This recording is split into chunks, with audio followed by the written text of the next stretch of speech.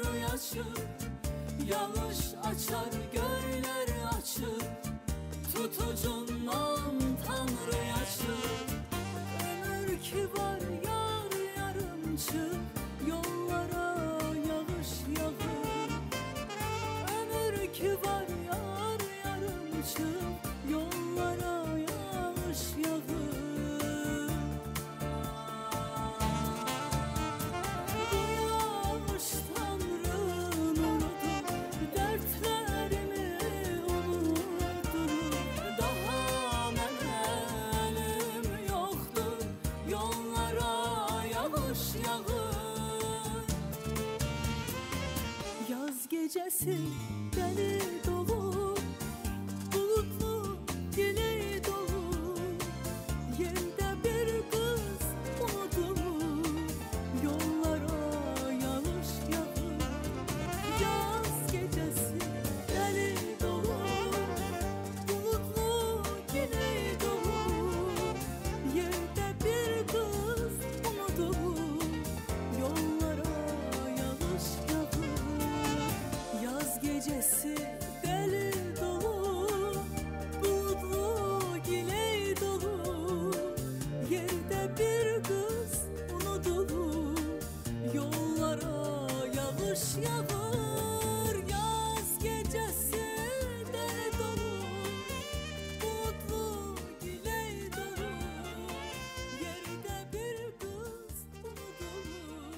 Günün ortasında, günün ən gözəl vaxtında günaydın, əziz və hörmətli tamaşaçılarımız. Mədəniyyət kanalında istirahət vaxtıdır.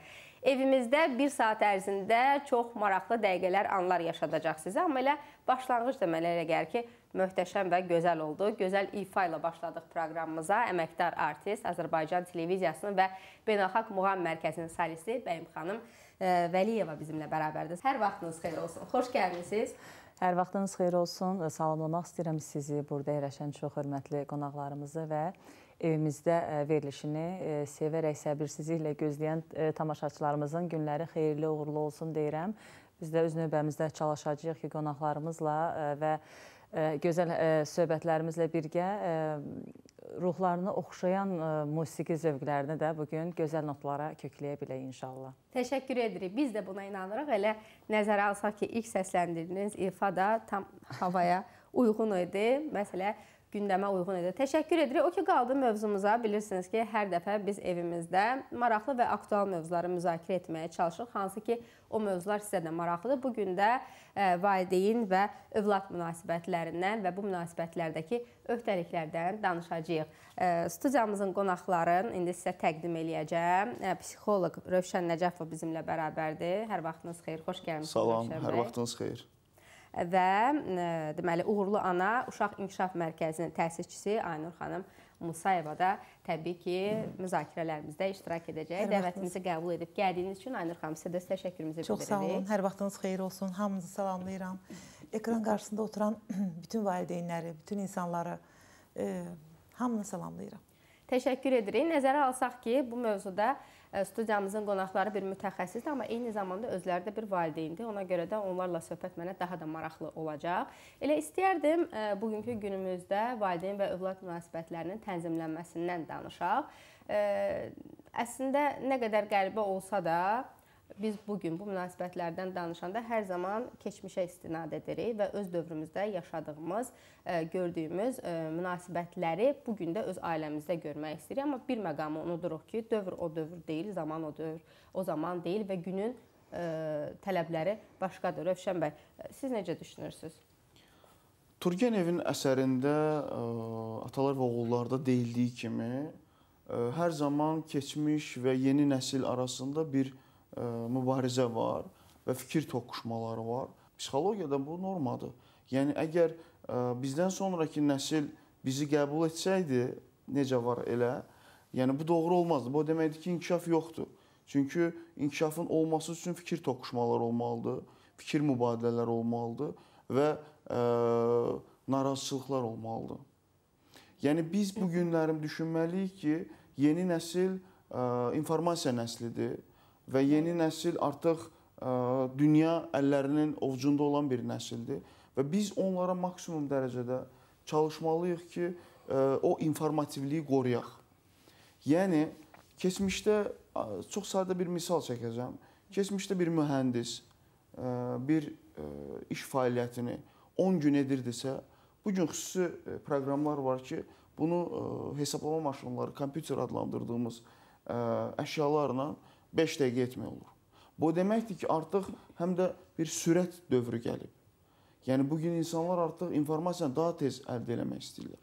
Yəni bizi ə, var edən və bizi inkişaf edən informasiya olduğu üçün bu o fikir toqquşmaları hər zaman olacaq və ə, bir artıq dünya artıq bir modernizm mərhələsinə keçib. Bəli. Yəni biz Və bu da düşün- münasibətlərə öz təsirini göstərir. Təbii ki, yəni münasibətlər ümumiyyətlə insanların e, təfəkkürü üzərində e, inkişaf edən bir anlayışdır. Bəli. Yəni biz bu günlərim münasibətlər e, bu cür tənzimlənə bilməz. Məsələn, mən dedimsə bu qanundur. Belə bir şey yoxdur. Yəni ailədə hər kəs azaddır, amma birlikdədir. Doğru. Yəni ailənin özünün bir sistematikliyi var. Fərdlərin birlikdə qurduğu bir sistemdir Bəli. şəxslərin öz fikirlərini ifadə etdiyi emosiyalardır. Baxın, əslində e, çox gözəl vurğuladınız, amma bir məqam var ki, valideyn hər zaman qoruyucudur. Ona görə də valideyn istiqamət verməlidir. Konkret olaraq nəyisə necə etməyi valideynin uşaqdan tələb etmək haqqı var, yoxsa yox? Aynur xanım, həm fikrinizi eşitmək, həm də sizin ailənizdə necədir? Bax, onu bizimlə paylaşmanızı istərdim. Biz övladı əlbəttə ki, yetişdirəndə e, həyata atmaq üçün təhlükələri bil, biləcəyi qədər, yəni yaş devri var.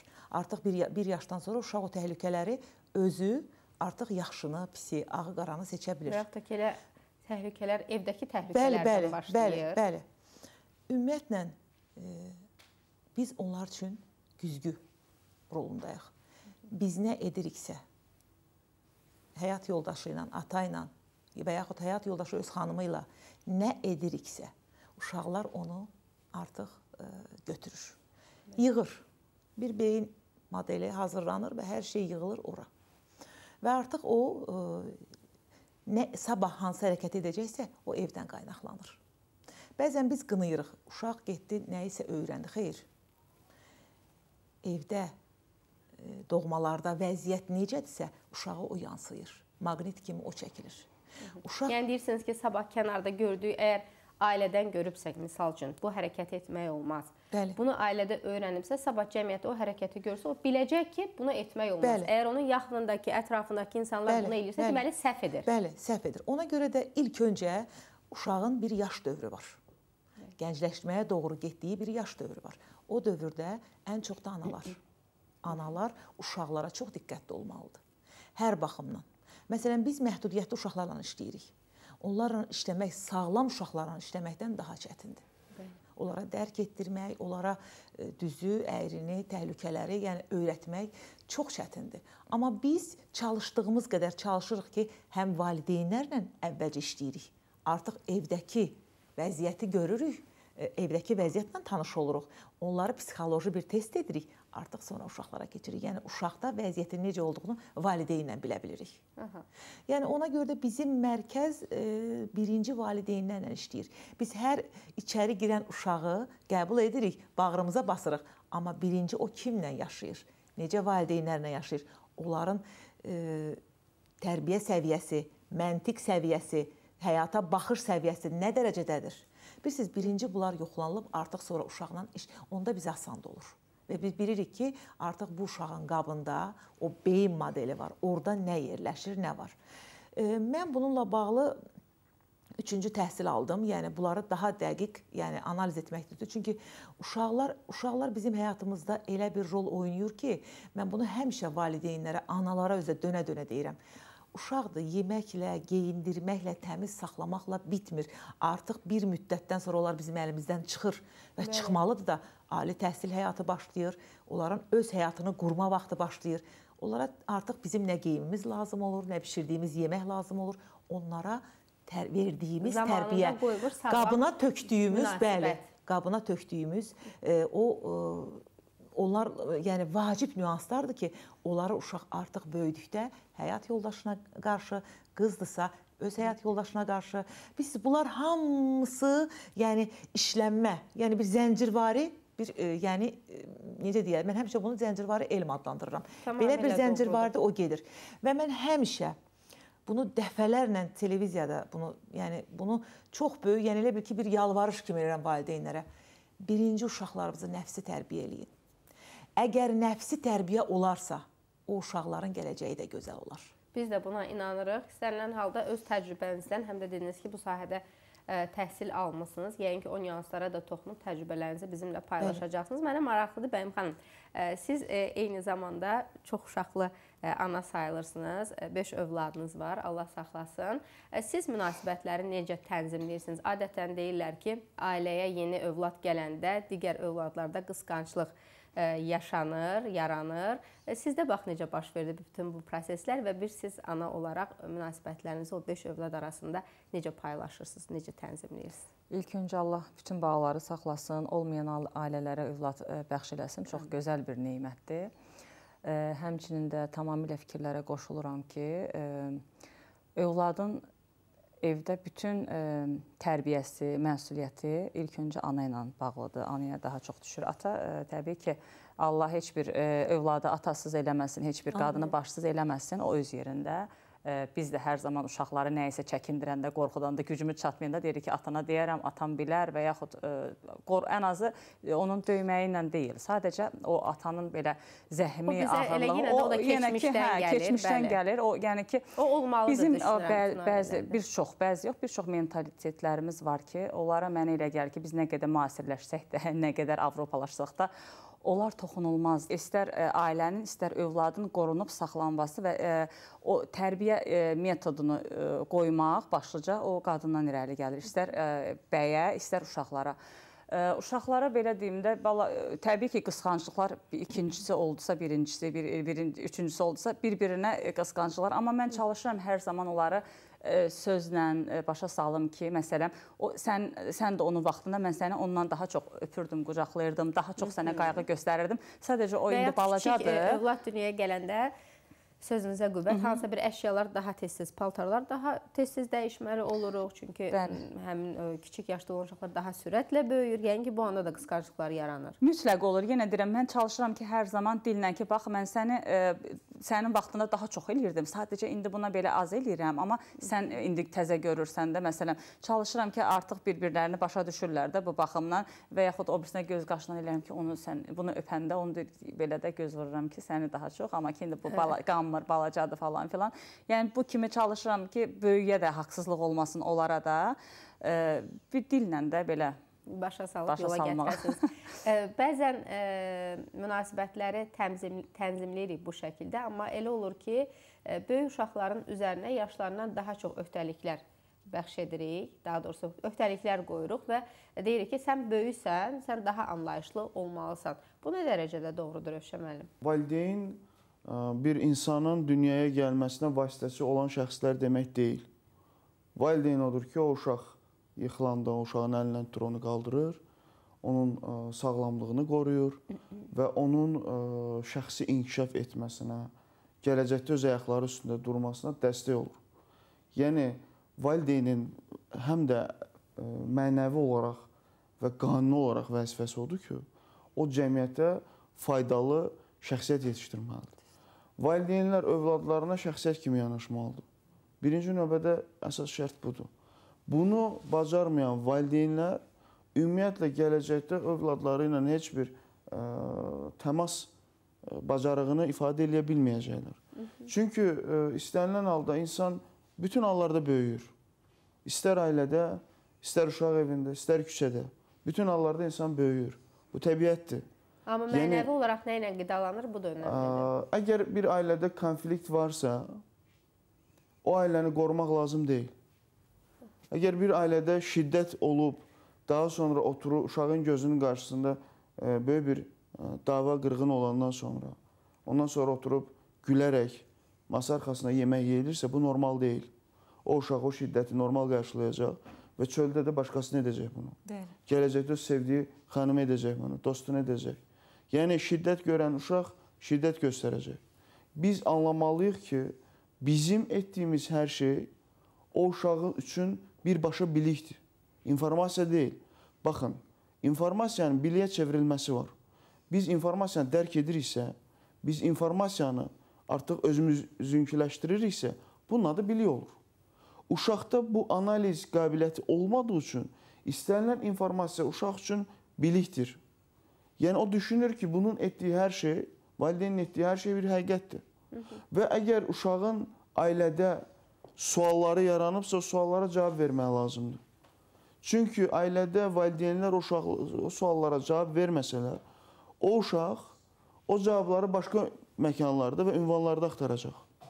Yəni demək istədiyim odur ki, biz e, bəzən məsuliyyət bölgüsündə düşünürük ki, e, bizim nənələrimiz, babalarımız bunu edibsə biz mütləq ora istinad eləməliyik. Mən sizə inandırım ki, bu günlərim məsələn biraz e, keçmişə biz səyahət edib müzakirə eləsək, onların nə qədər səhvlər etdiyini görərik.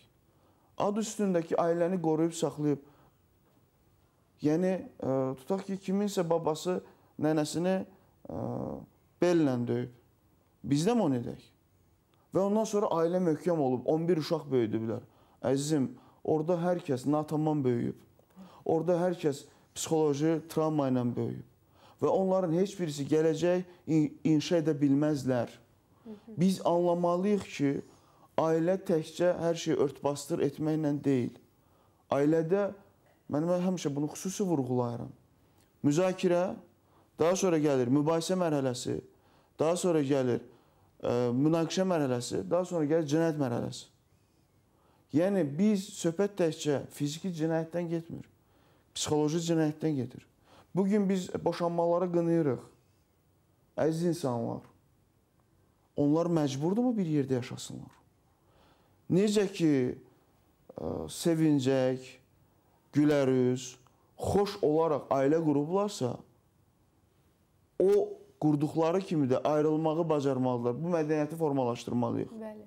Və ailə qurmağa qədər psixoloji uyğunluq testindən keçməlidirlər. Yəni bu o demək deyil ki, onlar psixoloji uyğunsuzlarsa ailə qurmasınlar. Ola bilsin ki, psixoloq onlara bir neçə seans müəyyənləşdirə bilər və onlar həmin o psixoloji uyğunsuzluğu aradan götürə bilərlər. Bu günlərim ailələrin dağılmasının əsas səbəbi və meyarı psixoloji uyğunsuzluqdur. Və ən çox dağılan ailələr məcburi nikahlardandır. Sevən insan bir-birinin qarşısında öz azadlıqlarından imtina etməyi bacarırlar. Ailə nədir? Sən həm də öz azadlıqlarından imtina edirsən. Ailə nədir? Sən öz ə, istəklərindən imtina edirsən. Fədakarlıq tələb eləyir. Bəli, fədakarlıq tələb eləyir. Əgər sən sevdiyin insana görə fədakarlıq edə bilmirsənsə, səndən ailə olmaz. Əgər sən bu günlərim övladın üçün ən yaxşısını etmək yox, ən yaxşısını etməyə cəhd etmək və nümunə göstərmək lazımdır. Onsuz da və övladınızın daha çox qarnını ə, doldurmağı düşünməyin, beynini doldurmağı düşünün. Mədəsi ac ola bilər. Geyimi ə, köhnə ola bilər. Zehni yenidirsə, o, o həyatda ən yaxşısını etməyi bacaracaq. Mə mənəvi olaraq toxdursa, Bəli. Bəli. Mənəvi zənginlik onu mütləq maddi olaraq özünün istədiyi qədər zəngin edəcək. Bu günlərim insanlar nə istədiyini bilmir. Ailələr nə istədiyini bilmir. Hamı bir-birini təbliğ etməklə məşğuldur. Bəli. Hamı özünü kiməsə bənzədir. çünki müasir dövrün ailə modeli bunu mu tələb eləyir? Gəlin ə, rəqəmsal ailə modellərini müzakirə eləyək o zaman. Bəli. Rəqəmsal psixologiya dövrü gəlir. Artıq ə, selfie sindromu, like sindromu, share sindromu, post sindromları var. Bunlar hələ dünyada yeni mövzulardır və ə, bizim sahədə bu müzakirə olunur. Və rəqəmsal ailə anlayışı var. Bu günlərim hamı istəyir ki, mənim məsələn X bir ailə gedib hər hansı bir restoranda ə, sosial platforma dilində desək, check-in edib oturubsa, mən də bunu etməliyəm. Əziz insan, həqiqətən o çəkini edən insan xoşbəxtdir. Hər kəs mən səndən daha xoşbəxtəm yarışına keçib. Ən gözəl xoşbəxtlik səmimi bədbəxtlikdir. Çox gözəl izah elədiniz. Bəli. Bəli. İnsanı düşündürür Bəli, bəli. Rövşən müəllimin söylədikləri, amma bir məqam da var ki, bu gün övladlarımız əslində onlara göstərilən iradı qəbul eləmirlər. Burada da müəyyən fikirlər və təzadlar var deyə düşünürəm. Müasir dövrün uşaqları daha özgüvənlidirlər. Bəli, Bunu qəbul bəli. edirik öz yerində. Amma müəyyən mənada valideyn istiqamət verməli, yön Bəli, verməlidir. bəli. Ə, Övlad bunu qəbul etməyəndə, burada yaş aralığını Bəli, nəzərə bəli. almaq lazımdır. Amma indi elə kiçik yaşlarından da uşaqlar öz istədikləri, məsəl üçün hər hansı bir oyun quranda ə, valideyn müdaxilə eləyəndə onlar yenə də öz Bəli, fikirləri bəli. üzərində dururlar. Əslində müəyyən mənada bu yaxşıdır. Amma yaş irəlilədikcə elə burada da valideynlərlə uşaqlar arasında bir ə, körpünün sınmasını ə, görürük yəni. Məsələn, bu son vaxtlar mənə müraciət edən valideynlərdən ən çox müraciət edən valideynlər bax elə siz dediyiniz bu mövzudur. Deməli valideyn mənə ana mənə deyir ki, uşağım bütün gün telefondan oynayır. Verməyəndə ağlayır, özünü çırpır yerə. Burada bir sual yaranır. Bəli. Telefona getməmək üçün valideyn nə edir? Bəli, mən indi onu sizə izah edəcəm. Bəli. Məsələn, valideyn deyir ki, mən vermirəm, nənəsi verir. Al görür ki, ağlayır, nənəsi verir. Deyirəm, "Əşə, heç nə olmaz. Ancaq səsini kəssin, ağlamasın." Və mən e, bunun qaydası nədir? Mən sizə bunu izah edəcəm və mən bunu həmişə bütün valideynlərə bunu bax beləcə də olduğu kimi Özünüz təcrübədən keçirmisiniz? Bəli, bəli, keçirmişəm. Deməli, e, yaxınlaşır, telefonu götürmək istəyir. Bəli. telefona artıq telefonu götürmək, telefon aludəçiliyi yavaş-yavaş başlayır. Çünki artıq orada girir e, Instagram səhifəsinə girir, Facebook səhifə bu bu dəqiqə bütün insanların hamısının sosial şəbəkələrdə bir, yəni adı var. Bəli. Və e, artıq ona maraqlıdır YouTube-da girsin hansısa bir kinoya və baxırsan ki, bir uzun saatlar keçir. 3 saat, 4 saatdır bu uşaq əlinə dərsdə qaldı. Yəni uşaq artıq ora aludəçidir. Sabaha təkrar, birisini təkrar. Və mən nə edirəm? Və mən nə məsləhət görürəm? Uşaq gəlib ağlamağa başlayanda deyirəm, keç otağında ağla. Orada nə qədər istəyirsən ağla. Onlar ağlamırlar əslində. Onlar arzularına çatmaq istəyirlər. O telefonu səndən almaq istəyirlər. Telefonu verə bilmərəm. Get otaqda nə qədər istəyirsən otağında, amma burada yox. Çünki mane olursan. Burada istirahət edirik, televizora baxırıq, çay içirik, baba, nənə oturub, qonaq var. Gedin otaqda nə qədər istəyirsən ağla. 3 dəfə, 2 dəfə artıq uşaq qəbul eləyir ki, olmaz. O ağlamır da. İnanın ki, o uşaqların gözündən yaş da gəlmir istədiyi vaxtda. Bəli, o düşünür ki, bundan öncəki valideyni sınayır. Valideyni sınayır. ki, valideyni O vaxt özünü yerə çırpır ki, artıq valideyn e, valideynin səbrini, səbr kasasını daşdırır. Amma valideyn də bu işdə biraz aktiv olmalıdır və biraz bilikli olmalıdır. Verməməlidir. O heç o zamana qədər bir dəfə, iki dəfə artıq nə özünü yerə vurmur. Nə baxır ki, ona ona yəni heç onunla maraqlanan da yoxdur. Onun göz yaşı, o çıxmayan göz yaşı heç maraqlı da deyil. Niyə gülürəm? Amma eynən e, bir neçə dəfə təcrübədə keçirtmişəm. Mən də eynən Bəli. deyirəm get otağına, hətta qapını da ört səsini eşitməyim, Hə, başım ağrır. Mən onu demədim. Mən mən amma valideynə Hə, yəni deyirəm. ki, bir dəfə Deyirəm, ki, uşaq səsin gəlməsin. Get otur nə qədərsən mane olursan istirahətimizə. Bəlkə ə, bəlkə bunun yerinə mən öz metodumdan danışsam deyə bilərəm ki, uşaq ağlayaraq fikrini söyləyəndə mən hər zaman deyirəm ki, mən səni belə başa düşmürəm. Nə dediyin anlaşılır, Bəli, anlaşılmır. Ə, Yəni öncə ağlamağı kəsmək lazımdır ki, sənin söylədiyin fikirləri mən alım. Təbii ki, bu hər zaman baş vermir. Burada da belə bir ideal ana obrazı yaratmaq istəmirəm. Təbii ki, bizim də evdən evə yorğun gəldiyimiz vəziyyətlər Bəli. olur. Bunlar öz yerində. Amma burada da bir sual yaranır. Rövşən müəllim, biz ə, uşaqlarımız niyə telefona ehtiyac duyurlar? Təbii ki, bu olmalıdır. Necə ki bizim vaxtilə cizgi filmi vaxtımız olub. Onların da indi müasir dövrün tələbidir, oyun vaxtları olmalıdır. Təbii ki, burada bir vaxt məhdudiyyəti tətbiq etməliyik. Bu öz yerində. Amma günlərinin uğurlu, günlərinin əyləncəli keçməyi üçün biz valideynlər onlara nə təklif edirik ki, onlar bizim təklif etdiklərimizi yox, telefonu seçirlər. Ona görə ki, biz əsas zamanımızı telefonda keçiririk. Bəli. Uşaq valideynin nə etdiyini görür və ona uyğun da davranır. Çünki uşaq üçün artıq həqiqət odur ki, valideyn evə gələn kimi əlindən telefon düşmürsə, deməli bu çox dəyərli bir şeydir. Və mən də o dəyərin bir hissəsi olmaq istəyirəm. Uşaqları bir mənalı şəkildə qınamaq olmaz. Ümumiyyətlə heç bir cəza tərbiyə üsulu deyil. Bir mənalı şəkildə. Bu insan psixologiyasıdır. Yaş ə, kateqoriyalarına bölsək, yaponlar bilirsiniz nə deyir? 6 yaşına qədər uşaq sənin üçün tanrıdır.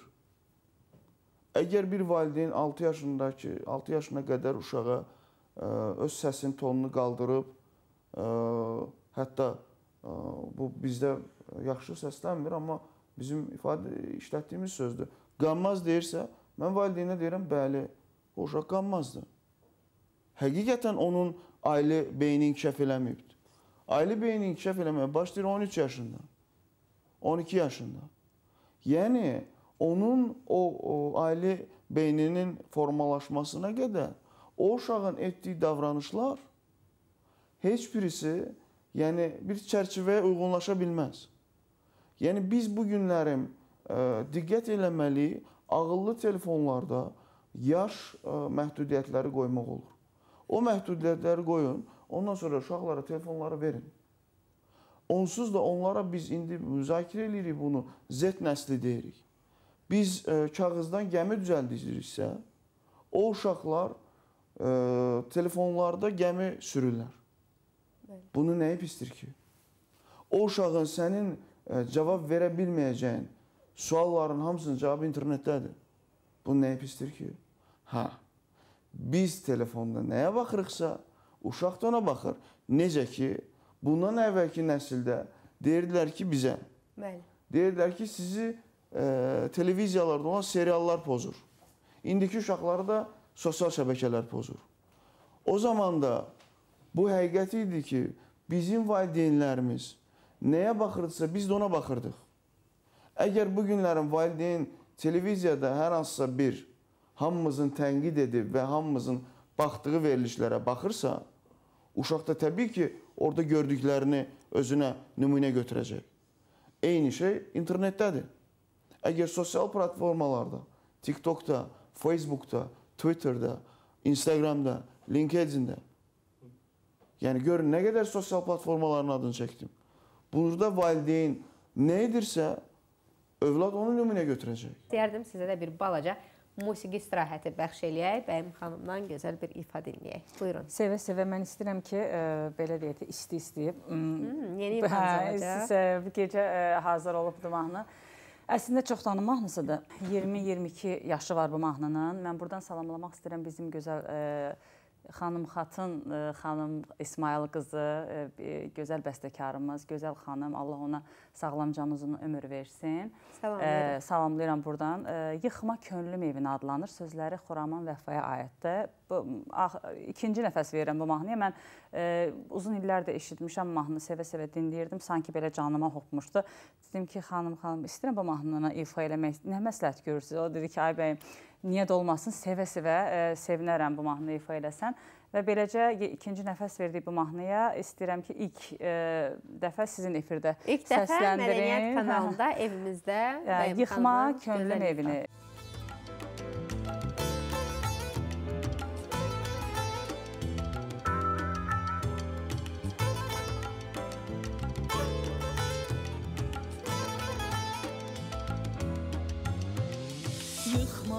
könlüm evini bir gün sana lazım olar Gider bu boranlı kış bir gün yine yazım olar Yıkma könlüm evini bir gün sana lazım olar Gider bu boranlı kış bir gün yine yazım olar Aşıqəm icra zülmünü çəksəm də usanmaram Aşıqəm icra zülmünü çəksəm də usanmaram.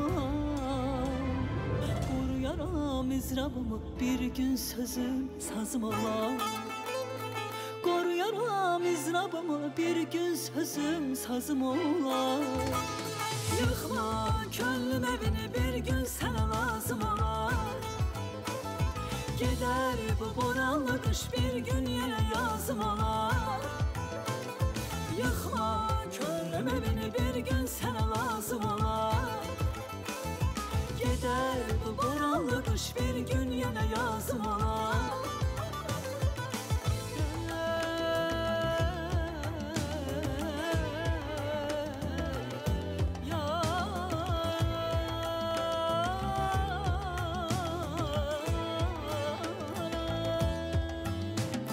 Gülmə dərd əhlinə dərdi yenə çəkən bilər Kalbim odlara yanır dinmez gözyaşını siler. Gülme derd ehline der çeken biler. Kalbim odlara yanır dinmez gözyaşını siler. Ay aşıqəm icran zülmünü çəksən də usanmaram. Aşıqəm icran zülmünü çəksəm də usanmaram mı bir gün sözüm saz mı var? Koruyaram mizrabımı bir gün sözüm saz mı olar? Gülme dərd əhlinə dərdiyinə çəkən bilər Qəlbim odlara yanır, dinməz göz yaşını siler Gülme dərd əhlinə dərdiyinə çəkən bilər Qəlbim adlara yanır dinməz göz yaşını silər Yıxma könlüm evini. Bir gün sənə lazım olar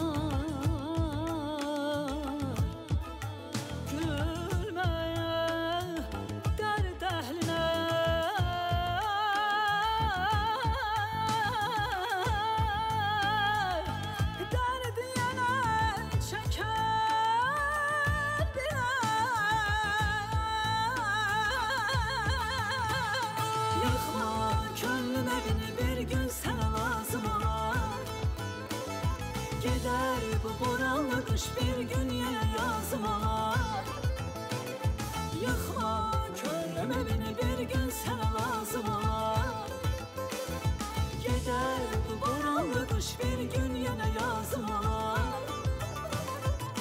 Yıxma könlüm evini Təşəkkür eləyirik. Gözəl idi. Çox sağ olun. İnanırıq ki, təşəkkür edirəm. digər repertuarınıza daxil olan mahnılar kimi bu da uğur qazanacaq. İstəyərdim yenidən elə mövzumuza qayıdaq. Bir bal- balaca da e, məsuliyyət şuurunun aşılanmasından danışaq. Siz öz təcrübənizdə bunu e, necə tətbiq etmisiniz? Aynur xanım. Əslində mən sizə bir e, nüansı qeyd eləmək istəyərdim. E, yəni e, mən həmişə ümumiyyətlə mənim işim uşaqlarlandır. Valideyn və uşaqların. E, həmişə birinci valideynin məsuliyyəti yüksək olmalıdır. Yəni məsuliyyəti, e, düşüncə məsuliyyəti o qədər yüksək olmalıdır ki, uşağına, yəni onu aşılaya bilsin.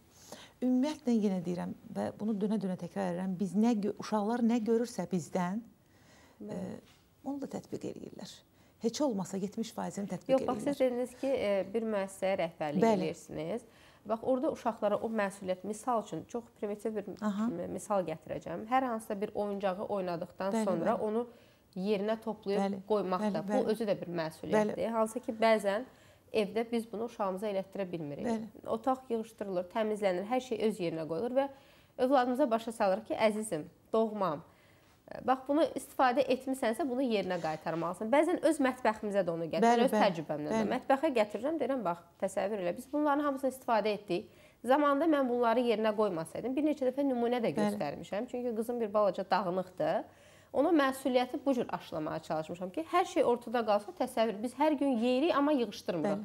Hər gün istifadə edirik qabları. Təsəvvür artıq e, növbəti dəfə biz dolabdan, şkafdan qab götürmək istəyəndə qabımız olmayacaq. Bəli. Siz e, necə tətbiq eləyirsiniz bax bu məsuliyyət şüurunu O da uşaqlara? uşağın lap kiçik yaşından, yəni bilirsiniz, məhdudiyyətli uşaqlarla bunu eləmək çox zaman alır. Çox çətindir. Məsələn, mənim oğlumun 23 yaşı var. E, anadan gəlmə lalkardır.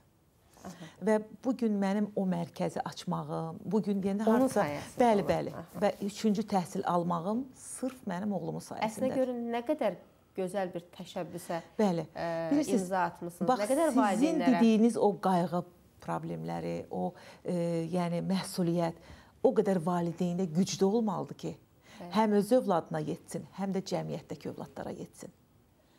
siz güclü qadınsınız. Yəni bunu yəni bunu qoy ətrafdakılar həmişə mənə deyir. Əslində mən həmişə fikirləşirəm, mən nəyi etməmişəm? Mən Fuad üçün nəyi etməmişəm?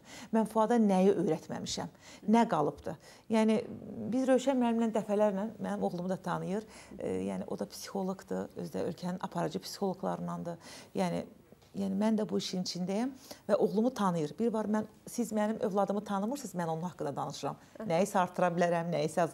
Amma Rövşən bəy e, Fuadı çox gözəl tanıyır. Sən sizin dilinizdən istəyir Rövşən müəllim? Mən Fuadı ə, ilk dəfə görəndə, yəni danışılan hekayənin də bir üstünü gördüm.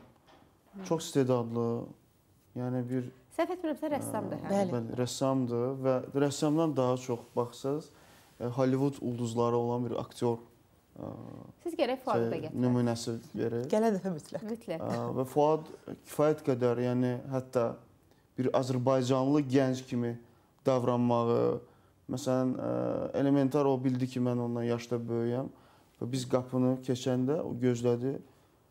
Birinci mənə yol verdi. Yəni bu dərəcədə həssas və detallarından bağlı bilgili birisidir. Və onun ümumiyyətlə ə, rəsm işləri yəni siz ə, düşünə bilmərsiniz ki, yəni bunu həqiqətən bizim danışdığımız hekayənin ə, baş obrazını çəkib bunları. Və Fuadın artıq Fuad çox güc- güclü və artıq elə bir yerdədir ki, artıq Fuad başqalarına nümunədir hal-hazırda. Yəni onun artıq nümunə götürmək, kimdənsə nəsə öyrənmək dövrü tam bitib və bununla bağlı onun əziz anası ə, çox ən böyük vəl- valideynliyi və müəllimliyi edib ona. Deməli bunu etmək mümkündür də. Əlbəttə. Təbii ki, Hər şey Sevgi- valideyndən Hər asılıdır. şey. istək və məcburiyyət Birinci sevgi. çox vacibdir. Düz- Sevgi düz- birincidir. Düzdür. Sevgi varsa orada məcburiyyət və istək Düzdür. birlikdə sevgi sevginin düsturudur da. o. Bəli. Məcburiyyət və istək sevginin düsturudur. Yəni mütləq sən bezmədən, yorulmadan və sən bu bu Aymə Aygün xanıma insan mühəndisi deyirəm. Yəni bir insan mühəndisidir. Yenidən bir insan insan inşa edib fikirlərlə, mənəviyyatla toxuna bilməyəcəyimiz şeylərdir bunlar. Hisslər elə bir şeydir ki, biz ona toxuna bilmirik. Bəlkə də onun varlığı ilə bağlı suallar verərik, cavab tapa bilmərik. Amma bu bilirsiniz, mənəviyyat ona görə zəngin olmalıdır ki, bu sevgini ötürə bilək. Və paylaşdıqca, Və paylaşa ən bilirsə, əsası- bütün övladlar arasında, hətta Bəzən- öz övladlarının olmayan Üzr istəyirəm, övladlar bəzən arasında ə, da. məhdudiyyət və yaxud da hər hansı bir ə, problem olan insanlarda çox böyük bir ego yaranır. Məsələn, istər ə, bu xüsusən də posttravmatik stres pozuntusu var, psixologiyada bir anlayış var. Bunu keçən insanlar hər kəsin ona borclu olduğunu düşünür. Fuad tamamilə başqadır. Fuad özünü başqalarına borclu hesab edir. Bəli. Fuad artıq bu günlərim yenə deyim, artıq ə, o estafeti ə, öz insan mühəndisindən, anasından alıb indi o estafeti başqasına verməklə məşğuldur. Mən Fuada Onu ötürməklə məşğuldur. Onun mənə ehtiyacı yoxdur. Həmişə deyirəm, bu gün də deyirəm. Telefonu qoyun qırağa, uşaqlarınıza, övladlarınıza qayğı göstərin. Uşaq girir otağa ki, evdə 3 otaq var. Ata bir otaqda telefonlandı, ana bir otaqda telefonlandı. Kinoya baxırlar, nə iləsə məşğuldurlar. O da ona da məcburdur. Ona da məcburdur ki, o da bir telefon götürsün artıq. Artıq evdə yaxınlaşır valideynə nəsə istəyir, get götür. Get özün götür. Get kimsə versin. Ana qayğısı olmalıdır, valideyn qayğısı olmalıdır. Bəli, bir müddətlikdir. Artıq bir müddətdən sonra öz özünü idarə edəcək. Necə Fuad idarə edir özünü, necə sizin uşaqlar, necə Rövşən müəllimin övladları. Yəni artıq bir müddətdən sonra bir model kimi öz Amma özünü zaman gələcək biz o günləri yenidən yaşamaq istəyəcəyik. Bəli, bəli. Təəssüflə qeyd eləyək ki, onda övladlarımız Bəli. sizin də qeyd etdiyiniz kimi böyümüş olacaqlar. Bizə bir o qədər də ehtiyacları Bəli, olmayacaq. bəli. Amma o telefon yenə də bizim masamızın üzərində və Bəli, yaxud ki, əlimizin bəli. altında olacaq. Ona görə də nə etməliyik? Elə özümə də deyirəm. Ə, Burdan övladlarımızla daha çox zaman keçirdək. Çox gözəl oyunlar satılır bu gün. Yəni hər şey maddiyyata Bəli, bağlı, bəli. amma ailə oyunları var ki, hansı Bəli. ki çox gözəl əylənmək Bəli, mümkündür. bəli. Onların xatirələrinə onlar yazılacaq. Necə ki biz indi keçmişə qayıdırıq və orada yaşadığımız bəzi o qədər incə məqamlar var ki, misal üçün kənddə keçirdiyimiz vaxtlar. Bəli. Bu gün həyat bizə nə qədər gözəl günlər, nə qədər yeni qapılar açsa da onların həsrətini hardasa çəkirik. Bəli. Zaman gələcək, onlar da bizimlə keçirdiyimiz o vaxtı ə, xatırlamaq istəyəcəklər. Ona görə o qədər o xatirələrin sayı çox olmalıdır Bəli, ki, kitabı vərəqlədikcə yeni Bəli. səhifələr gəlsin. Əgər ə, bir balaca da olsa, ə, istər psixoloqumuz, istər dəyərli anamız, istərsə də bəyim xanımın təcrübələri sizə faydalı olacaqsa, nə xoş bizə. Deməli bu dəfə də Rövşən müəllim missiyamızı az da olsa yerinə yetirə bildik. Əsas odur ki, fikirlərimizdə məhdudiyyət olmasın. Əsas odur ki, biz ə, öz doğmalarımızı sevməyi bacaraq ki, və onlara sevməyi öyrədək ki, onlar da başqalarını sevməyi bacarmağı və öyrətsinlər. Yəni biz ə, sevgi özü bir bacarıq tələb edir, fədakarlıq tələb edir və hər kəsin başa düşdüyü dil sevgidir. Ona görə də sevməkdən qorxmaq lazım deyil, sevginin əskəri olmaq lazımdır. Və bütün ailələr arzu edirəm ki, sevgi üzərində qurulub, sevgi üzərində də davam etsin. Və çünki sevgi olan yerdə ə, övladlar da sağlam böyüyür. Düşüncələrimiz qüsurlu olmasın. Düşüncələrimiz məhdudiyyətli olmasın. E, sevməyi bacaraq. Hər şeyin başında sevgi durur. Hər şeyin e, qapıları sevgi açır. Yəni bu gün nəyəsə atdığımız mən bu gün niyə övlad baxımından özümü uğurlu sayıram? Çünki sevgi ilə etmişəm hamısını. Sevgi ilə öyrətmişəm. 3 dəfə əziyyət çəkmişəm, 4 dəfə əziyyət çəkmişəm, bəzən 5 dəfə əziyyət çəkmişəm. Amma sevgi ilə, usanmadan, səbrlə çünki övladım üçün eləmişəm. Bu gün də cəmiyyətdəki uşaqlar üçün bunu düşünürəm və bunu sevə-sevə eləyirəm. Və çalışıram ki, valideynləri də özümə oxşadım. Nə gözəl. Gözəl bir missiyanı icra edirsiniz. Biz sizə işlərinizdə uğurlar arzulayırıq. Çox sağ olun. İnanırıq ki, sizin o toxunuşlarınızla cəmiyyətimiz yeni sağlam düşüncəli vətəndaşlar inşallah. qazanacaqlar. Bəyim xanım, sizə də öz təşəkkürümü bildirirəm. Çox sağ olun ki, gəldiniz, repertuarınızda olan gözəl ifaları səsləndirdiniz, əyləncəmizə ə, xüsusi bir toxunuş etdiniz. Çox sağ olun. Mən təşəkkür eləyirəm dəvətiniz üçün, ə, xüsusən də belə xoş qonaqlarla dəvət etdiyiniz üçün. Ə, tamamilə qoşuluram ə, fikirlərə. Mənə elə gəlir ki, hər bir işin başına sevgi durur. Ə, sevgi ailədən başlayır, həyat yoldaşından başlayır, uşaqlara yansıyır. Yəni ər-arvad münasibəti təbii ki, övlad onların olan sevgisini görəndə övladın da baxış açısı dəyişir, bir-birlərinə münasibəti dəyişir övladların. Həmçinin də sənətimizə sevgi olanda cəmiyyətə faydalı ola bilirik, Bəli. sevgi ilə yanaşa bilirik. Bu baxımdan sizə də təşəkkür edirəm və sonda da ifa edəcəyim mahnı da yenə də yeni mahnılar silsiləsindəndir. Bəstəsi Hacı Nazimin də salamlayıram buradan Nazimin qardaşımızı da. Sözləri Rəfiq Səkiyə aiddir. Türk oğlu. Mənə elə gəlir ki, bugünkü gün e, günümüzdə e, e, fəxr eləməliyik ki, fəxr edirik ki, bizim bu cür mərd övladlarımız var. Bu ikinci vətən e, müharibəsi də xüsusən də bir ikinci daha Qarabağ. ikinci Qarabağ e, müharibəsi də e, bizə bir daha sübut etdi ki, e, bizim qeyrətli oğullarımız olub, var və olacaq da bizim bu böyüyən nəsildə o ruhda böyüyür. Çox sevinirəm.